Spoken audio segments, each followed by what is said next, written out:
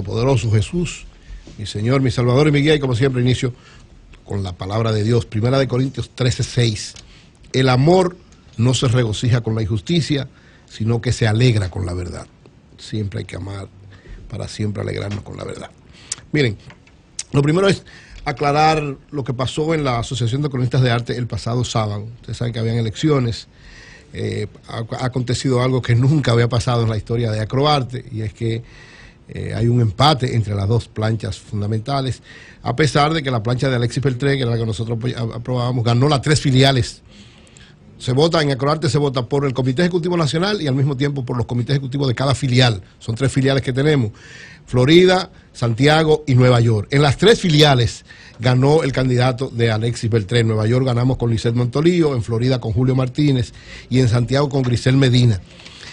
Y en un primer momento habíamos ganado también las elecciones en sentido nacional por un voto, pero que fue para una situación en Nueva York, anularon un voto y entonces ahora hay un empate.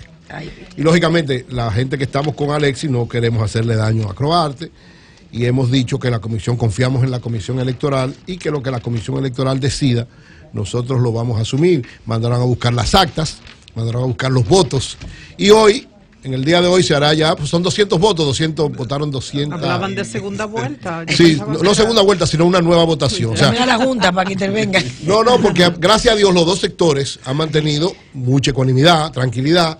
Nosotros, porque en primer momento incluso empezamos a celebrar que habíamos ganado, porque era 102 a 101.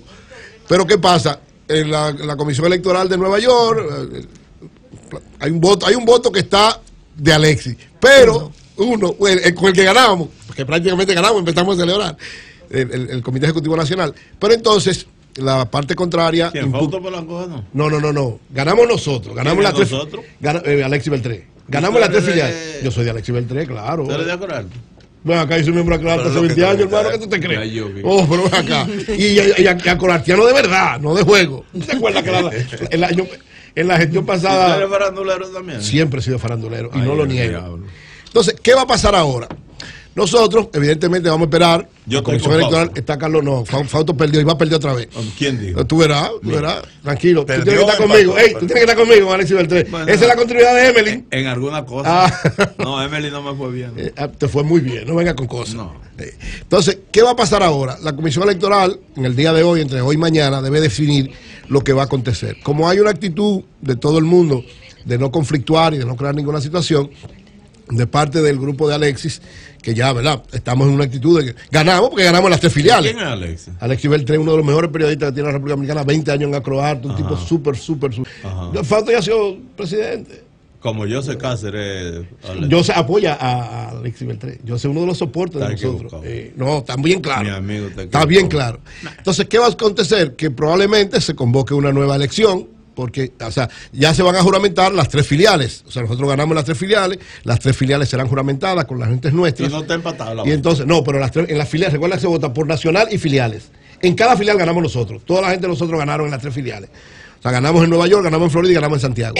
A nivel nacional ganamos también, pero hubo un voto que fue impugnado, ganamos por un voto. Pero entonces lo impugnaron en Nueva York, la Comisión Electoral de Nueva York lo aceptó. A mí me ganan por un voto en un sitio y rompo. Pues son la puerta. 200 votos. Y entro y rompo la puerta. No, nadie, no, al contrario. Hago como Emilín allá en Neiva. No, pero ya nosotros. Que me están ganando por 7 votos, rompió la puerta y después ganó. No, pero aquí, 14. aquí ya aquí hay, aquí hay armonía porque todos los que queremos no aprobar. sé. Entonces, ¿qué va a suceder? ¿Y cómo se Probablemente, eso, por un Mel? voto. probablemente ¿Cómo se la comisión. eso? No, si el que pierde la qué. Si son Demo 202 fuerte. votos, el que pierde por uno perdió. Es Son democracia, 202 eso es votos nada más, votamos 202 Está fuerte, gente, somos 270 y votamos 202.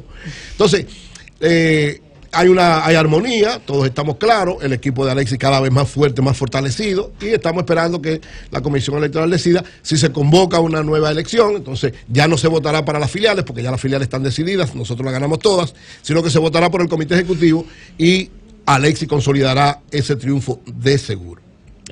Por otro lado, miren, la, los sectores cristianos de la República Dominicana, tanto evangélicos como, co- como católicos, hemos coordinado, nos hemos juntado todos y de manera unificada hemos decidido convocar una manifestación cívica nacional el próximo jueves, 4 de julio, este jueves, a las 10 de la mañana, en la capital y en Santiago, frente al Ministerio de Educación, para oponernos a la ideología de Están género. prohibidos los actos públicos.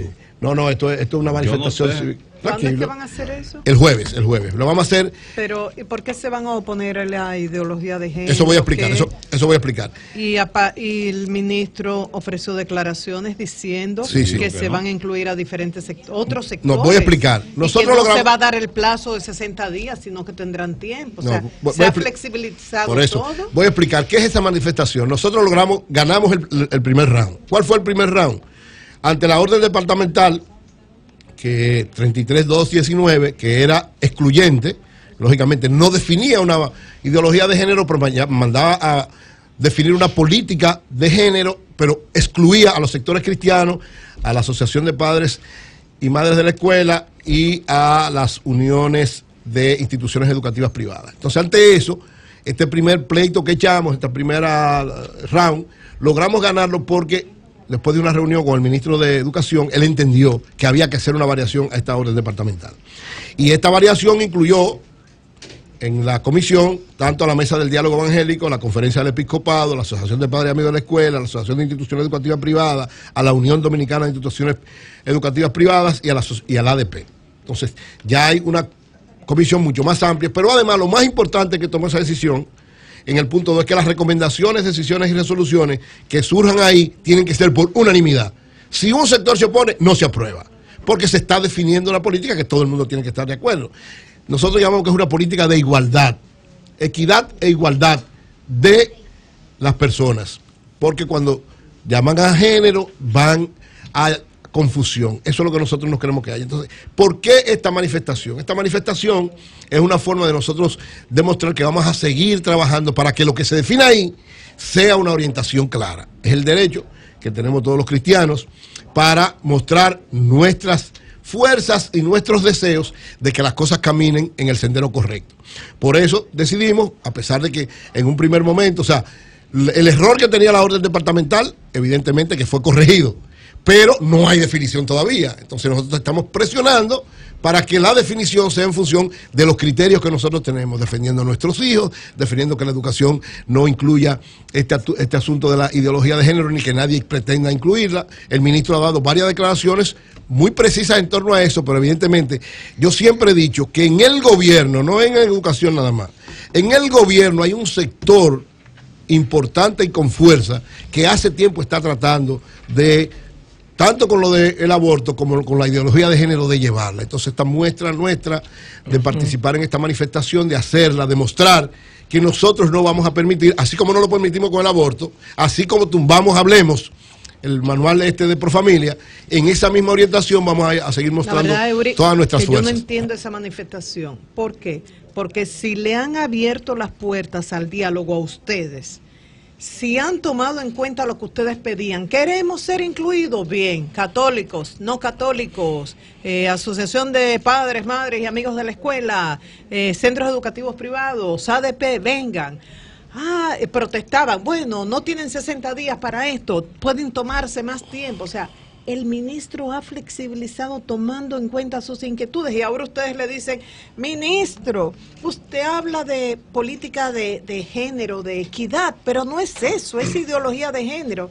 Y entonces... Esta manifestación, Marilena, como te dije, no es en contra del ministro nada más, sino es en contra de un sector del gobierno. Pero ya lo aclaró. Digo, él, aclaró, pero no se ha definido. Entonces, como hay un sector del gobierno que sigue insistiendo con lo mismo, con lo mismo, esto, es, esto es una discusión parecida a la del aborto. Entonces, ¿qué estamos haciendo los cristianos?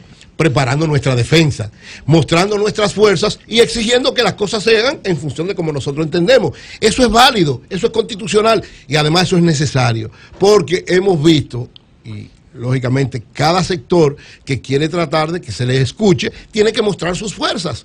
Nosotros vamos a hacer simplemente una manifestación diciendo, nosotros creemos que lo que se va a definir hay que tomar en cuenta a los cristianos, hay que tomar en cuenta que no puede ser ideología de género, tienen que respetar a nuestros hijos, la educación no puede ser con esto, sino que todos debemos definir una política de igualdad para hombre y mujer, pero no le metamos asuntos de género, porque eso lo que hace es dañar nuestros Cambio y fuera. de la mañana.